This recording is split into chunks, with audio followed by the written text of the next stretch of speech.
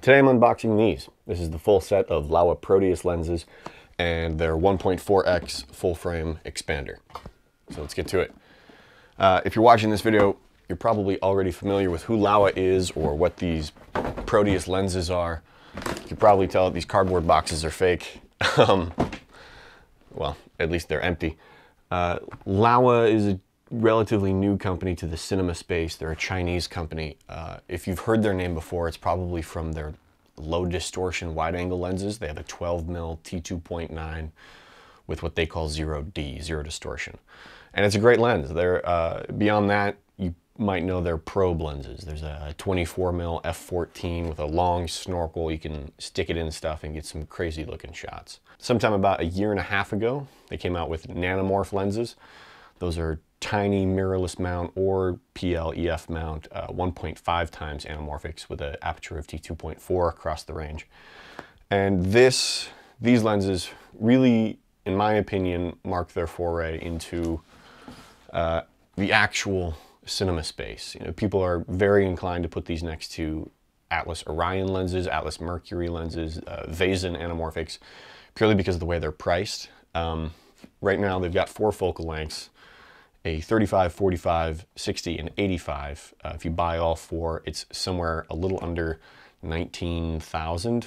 Let's see, yeah, 18,998. In any case, they're here and um, beyond their uh, initial push of giving one or two lenses to some YouTubers out there, I haven't seen anyone with a full set actually use them in the wild or make any content about them. So this will be the first video of a few. This one's just an unboxing video. After that, I'm to be taking these on to a few features I've already got scheduled.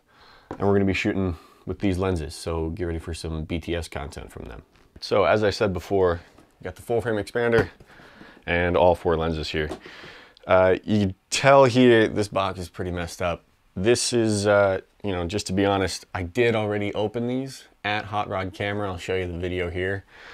This is how it arrived from China. So, you know, when you get something that's 20 grand from China and it looks like that, you open the box, you check that it's all at least there. Now, luckily, as you'll see, they do actually ship in watertight, basically Pelican cases inside these.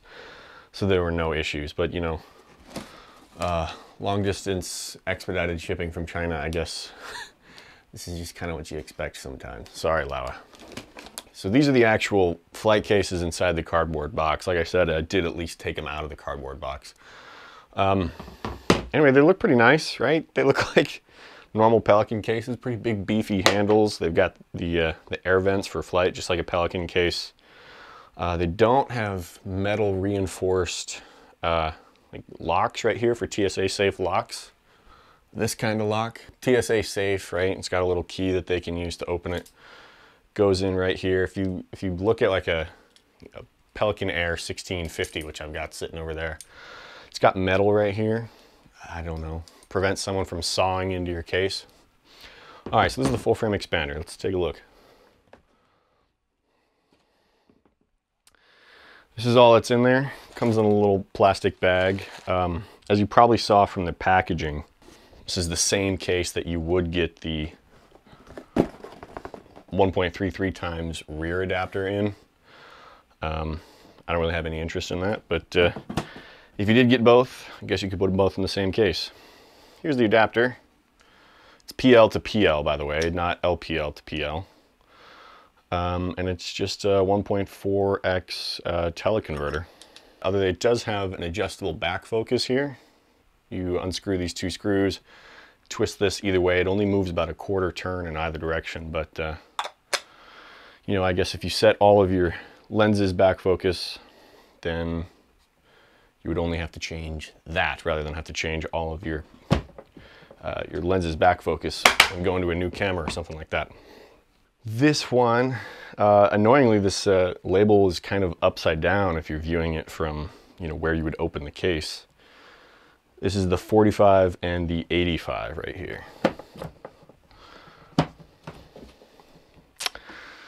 There they are. Pretty sexy cases, you know. Okay. So here's a 45. This is the silver flare. Uh, you can get these lenses in three different flare colors, and that is reflected in this ring right here. So there's amber, which would have a gold flare, silver, which again would have silver, and blue, which would have blue. Um, I think that's all that really needs to be said about that. You probably know why you would want it, uh, different colors. Um, one thing that's nice about the silvers, different lights, whatever light color you shine into the lens, the flare generally takes on that color. So I find it to be a bit more versatile. If I want amber flare, I'll just use amber flights, blue flares, blue lights, uh, or whatever other color. Another thing to know about the silver flare though is it does generally just flare less than the other lenses. So these are not super dramatic when it comes to their flare. They're a little understated. So if you like really dramatic flare, you want to do some hip hop videos, some sci-fi action movies, you may find these a little too clean, actually. Uh, they are 114 mil across the range in front. Lens support right there. And here, uh, that's your measure for your front filters. So they have threaded 105 mil uh, threads for filters. I really don't know what you're gonna put there right now. There's not a lot of choice for 105 mil filters. I told Laowa themselves that they should make some 105 mil uh, diopters. I think that'd be the perfect place for that. Uh, one thing Um, in order to use any of these lenses with the 1.4x expander, you have to unscrew what they call a beauty ring. uh, I've never had to do this before on a lens, but you just grab it with your fingers and it comes right off. Um, and this gives you the extra rear clearance on the back of the lens to use with the expander. Um, it does make me a little nervous. It does leave it a little bit exposed back here. Um, I don't know how fragile it really is, but uh, you know, scratches, fingerprints would definitely be more likely. Um, so, you know, renting these out onto a larger production that you're not going to be on as the owner operator, um, you have got a bunch of ACs throwing these things back and forth, doing lens changes constantly. Um, it does seem a little nerve wracking to have to uh, either show the ACs on whatever film it is that they're going to have to be unscrewing this all the time, or maybe forget to tell them that and they don't know what the hell's going on, or these rings get lost. I mean, I can easily see things happening like that on uh, fast-paced narrative film. Uh, let's go to the 85. The 85 is the only lens out of this initial four that's a different size. Um, you can see it's fucking huge. I mean, if that's a PL mount, if you've ever used the Atlas lenses, you know how big the 100 mil is. And this is basically the size of the Atlas 100. So it is a big lens. I posted a picture recently of this thing attached to my Alexa over there. And, you know, like clockwork, the very first people's comments are, oh, I feel sorry for that PL mount, or you should really be using stands. You know, everyone wants to put in their their two cents of how knowledgeable they are. but uh, with this lens, um, at least with a camera that's smaller and perhaps less built like a tank than a classic body Alexa, you are probably going to want to use lens supports, at least with the 85 and up.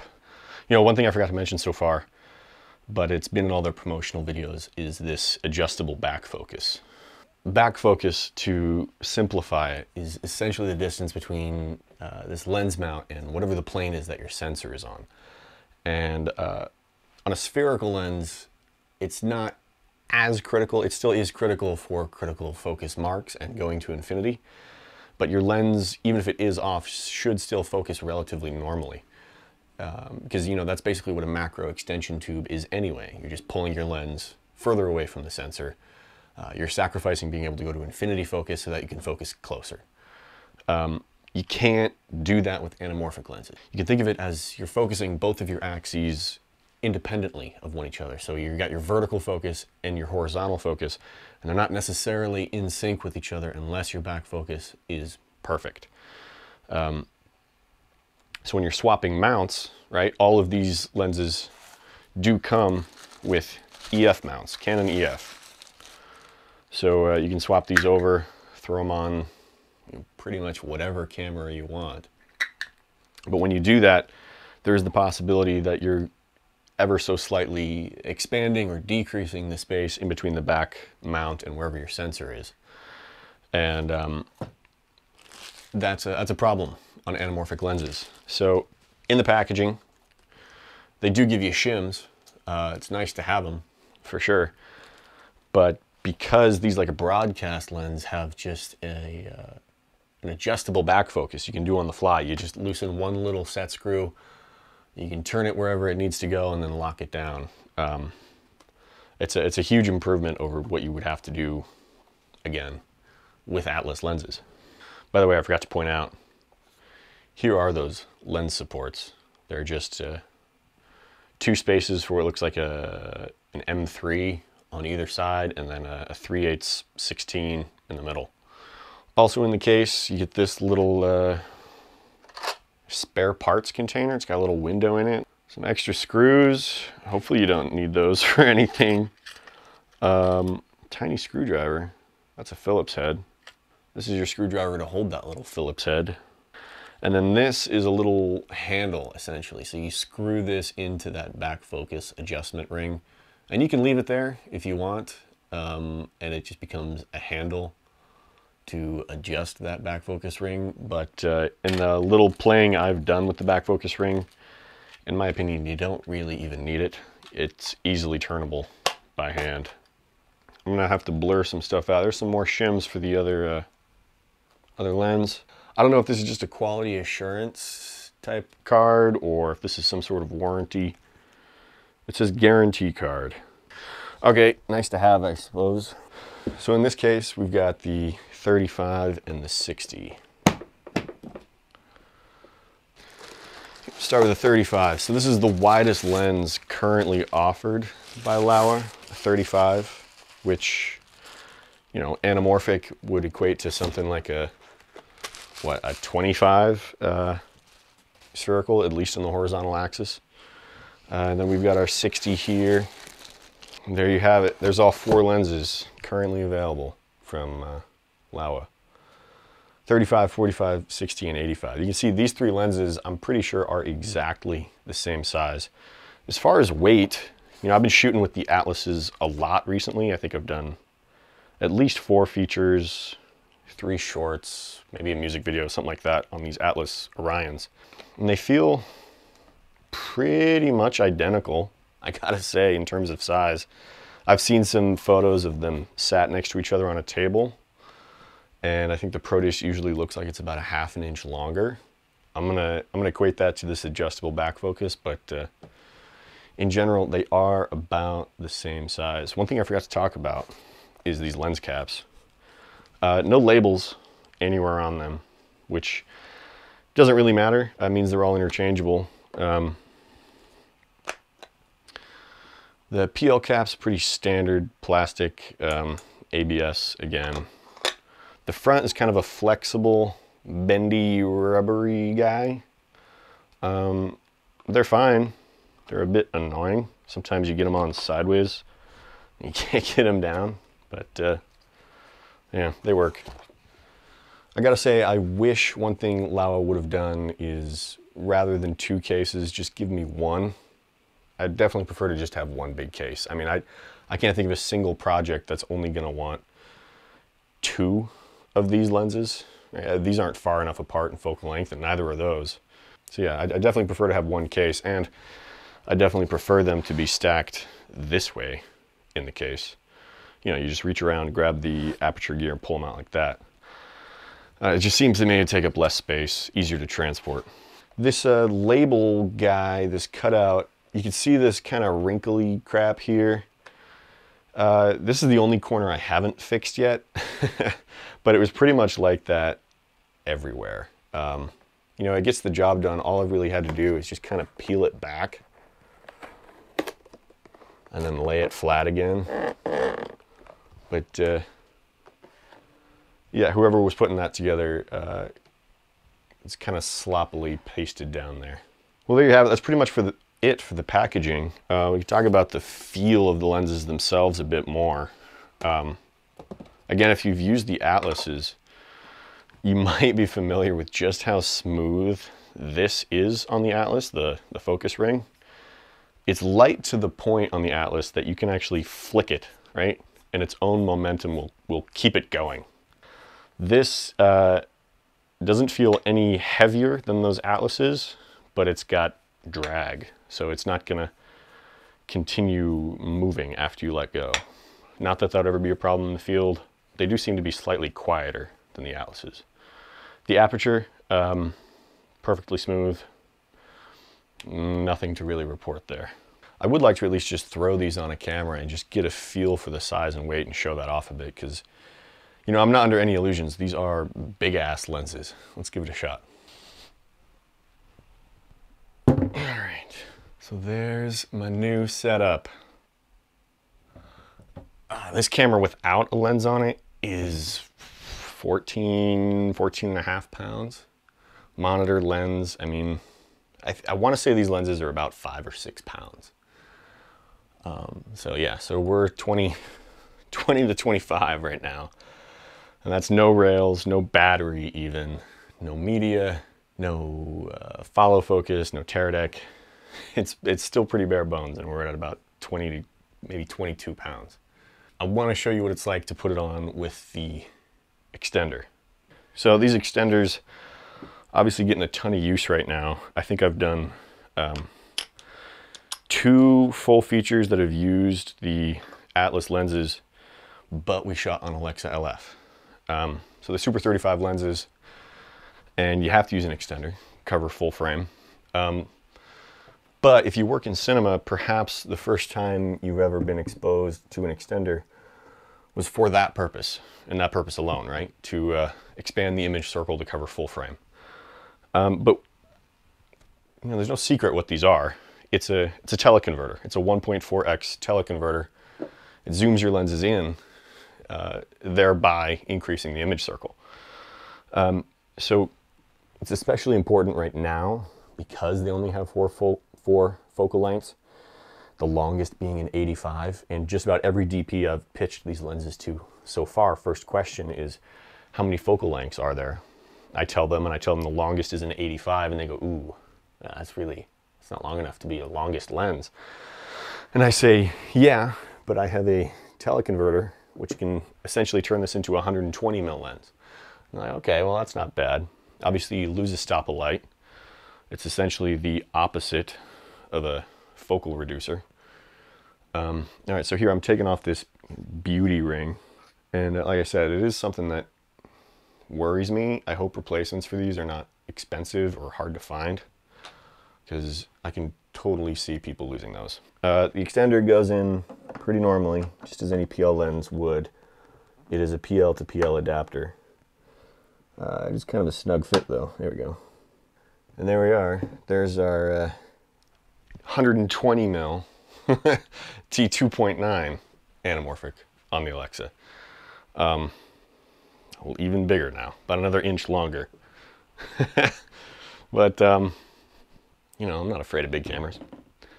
Big downside, something I've noticed, um, it's even there without the extender, but with the extender, it's multiplied by two.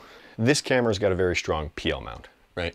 It's a, it's a classic Alexa body. It's built like a tank. So you're not going to get any, uh, you know, pitch or yaw on the lens. There's not going to be any wiggle room there. But if I grab the lens here and twist, I hope you can see that because that's moving. And that really sucks. Um, on a spherical lens, it wouldn't be that big a deal. The only time that may show up in the image at all is if you're using a lens that's got a really stiff focus ring and your focus motor's got to put a ton of torque into it and then it might actually move the lens itself. Well, that won't be a problem here um, because it is so light and hopefully you're not running into the hard stops on the ends of the lens. But uh, it's not a spherical lens. It's an anamorphic lens and the axis by which it squeezes has to be perfectly parallel with the vertical axis on the sensor. If it's not, you can tell. You get skewed images left or right. Uh, right angles aren't right angles how they're supposed to be. And, you know, I've yet to really test how that much movement can really throw off the anamorphic squeeze of the image. But in my experience, even one degree is enough to tell sometimes if you're looking at the right uh, things. Door frames, windows, when you're looking at uh, geometric objects like that, that's when you can tell. You know, obviously, I'm a fan of Laowa, right? I invested my money in their product. Um, I bought this stuff myself. They're not paying me to make a video of any kind. So I'm to call them out that that amount of wiggle room in an anamorphic lens is not okay. Because every time whoever the AC is puts the, the lens on the camera, this could end up in a different spot, just ever so slightly. And it's, it's a difficult thing to fix in post. You can remedy it in post if you know how, and if you know it's even an, an issue in the image to begin with. But you hand this to your average DIT editor, colorist, chances are they're not even going to know that it's something they need to fix. And even if they did, you'd probably have to walk them through it as the anamorphic uh, specialist, if you will. um, so yeah, Laowa, uh, if you ever make a generation two of this 1.4x expander, that's something you need to look into. All right, well, I'm done shitting on these lenses. One thing I forgot to mention about these lenses, uh, Laowa describes them as Super 35 plus lenses. Um, so they're gonna cover the image circle of any Super 35 camera you'd wanna throw them on.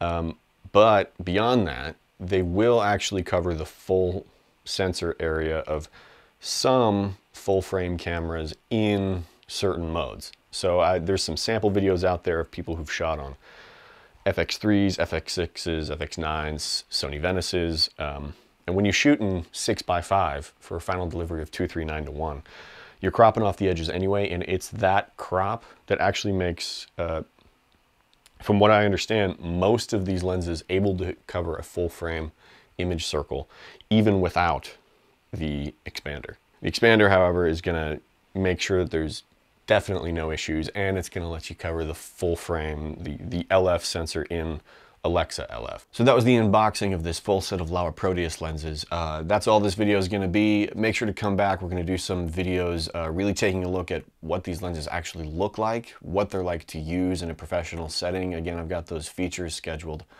And uh, yeah, those videos should be coming out in the next few weeks. Thanks.